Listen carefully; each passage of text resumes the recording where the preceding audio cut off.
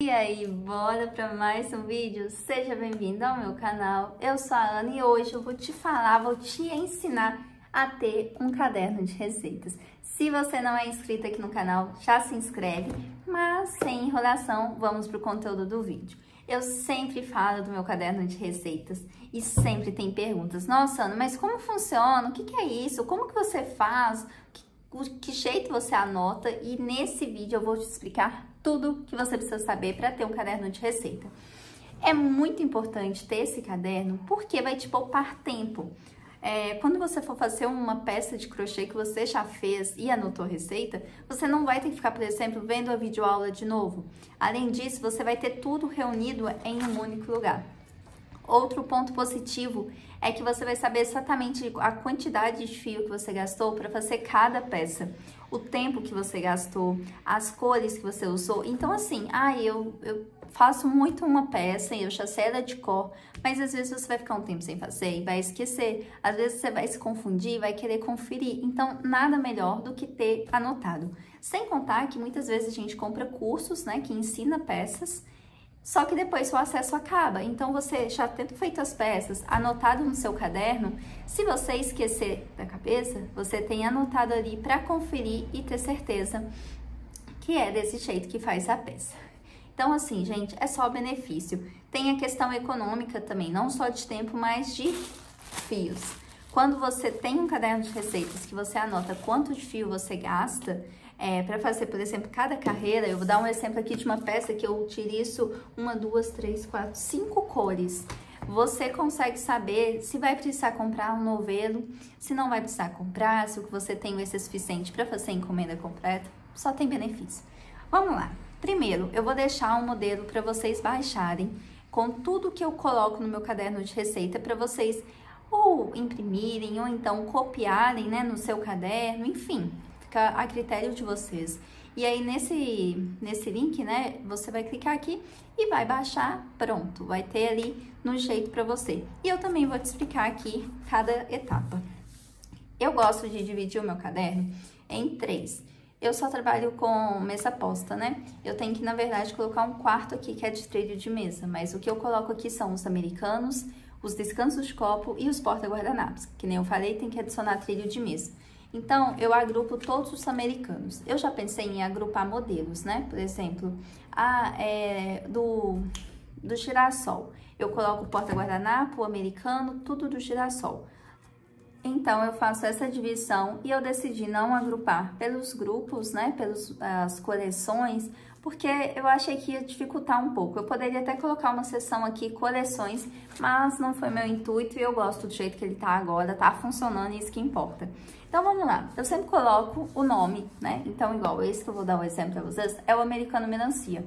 É, quando é de curso pago, geralmente tem o um nome, né? Então, por exemplo, tem o Florata, da Carol Crochê. Eu, então, sempre coloco o nome para identificar, para no catálogo eu saber. Coloco o peso total da peça, que aqui tem em branco, né? Mas é só calcular aqui que chega no peso final. E aí, quando são peças coloridas, a cada cor eu coloco a quantidade de fio gasto. Isso é muito importante. Nesse caso aqui, é importante para saber quanto que eu vou gastar de fio de cada cor, mas também vamos supor uma peça que tem um fio diferente, tipo fio encanto, né? Uh, o turco luxo. É importante saber quanto de fio encanto eu vou gastar, porque na hora de precificar, esse valor vai mudar, sabe? Eu não vou precificar o material gasto todo pensando só no barroco, porque eu não trabalhei só com barroco. Então, você tem que saber quanto de fio foi gasto para fazer uma precificação. Tem é, vídeo aula aqui, uma aula excelente de precificação. Tem também aqui no link o meu guia definitivo de precificação, para você, assim, aprender de uma vez por todas a precificar seu trabalho. Lá é tudo explicadinho, passo a passo, não tem erro, super simples e objetivo e lucrativo, porque eu te explico como você é, fazer todo o processo para vender de forma justa, né? Então, eu coloquei aqui do fio vermelho, 80 gramas, do salmão, 13 gramas, do branco, 13 gramas, do verde hortaliça, 13, ó, 32 gramas, do verde trevo, 32 gramas. Então, é uma peça, assim, econômica, né? É, 400 gramas de um novelo dá pra fazer muitas, né? Dá, do vermelho dá pra fazer ó, quatro bases, né? Mas dos outros rende muito. Então, tendo isso daqui, economiza de você comprar fios em excesso. E aí, depois, eu venho colocando receita aqui. Vocês sabem que eu sou adepta do checklist da produtividade, então eu gosto sempre de colocar fio vermelho, eu coloco a quantidade de gramas que eu gastei ao todo, qual agulha eu utilizei, porque tem peças que eu mudo de agulha ao decorrer da peça para garantir um, que ela fique retinha. Essa peça é um exemplo disso. E aí eu coloco também o tamanho que ficou essa base. Por quê, gente? Porque às vezes a gente tá fazendo a peça e fica parecendo, nossa, mas tá muito pequeno isso daqui, não vai dar o tamanho total. Então eu já gosto de colocar assim, pra, conforme eu vou fazendo, eu vou comparando com a minha receita, né? Então eu coloco essa informação aqui também. E aí eu vou colocando todas essas carreiras e escrevendo como que elas funcionam. Acabou, eu também anoto o tempo, ó. Tá vendo? Aqui tá escrito 25 minutos. Eu gastei 25 minutos para fazer até aqui. Eu sempre coloco os 25 minutos porque eu faço crochê muito com pomodoro, que é 25 minutos crochetando, 5 minutos de descanso. Agora nem tanto por causa do meu bebê, mas isso me ajuda a ter uma noção de, de tempo, né? Então, eu consigo ver, tipo, ah, eu preciso de 5 pomos, que são 5 ciclos de 25 minutos para concluir essa peça, entenderam? Aí mudei de cor, eu coloco aqui, ó, a próxima cor, como é que ela vai funcionar, qual carreira ela é.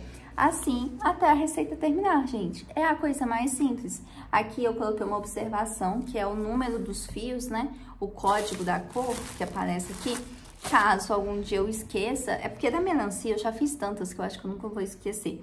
Mas, por exemplo, eu recebi uma encomenda do Turco Luxo e eu não, não lembrava as cores. Então, eu tive que procurar, procurar, procurar e achei.